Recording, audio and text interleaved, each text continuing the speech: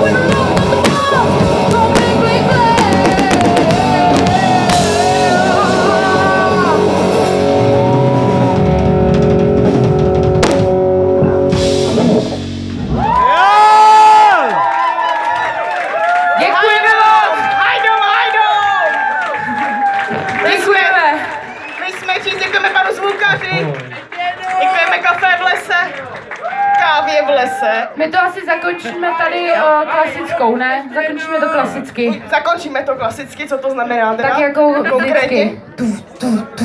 Dobrý večer, děkujeme, že jste Super, přišli. díky. To je Markéta, tak eh, jo, takhle. Bohedo. Hajdom dej, už nemůžem. Tak konec, díky, dobrou.